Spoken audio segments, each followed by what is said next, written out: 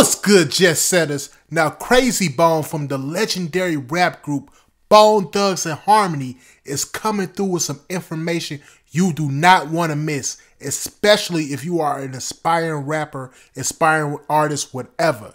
He's talking about how record labels are tied in with private prisons. Here's what Krayzie Bone had to say. The companies we worked for had invested millions into millions into the building of privately owned prisons and that our positions of influence in the music industry would actually impact the profitability of these investments. Hmm.